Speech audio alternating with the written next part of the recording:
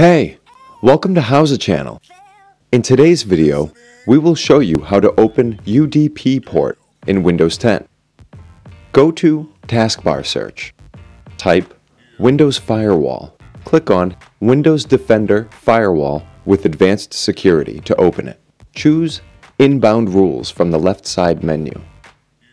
Click on New Rule on the right of the window. Check Port and click on Next. Check UDP. Check Specific Local Ports and type 4040. Click on Next. Click on Next two more times. Enter 4040 as a name. Click on Finish. That's it. Thanks for watching the video. Please like it and let us know if you use any of our tips and tricks. Subscribe to our channel.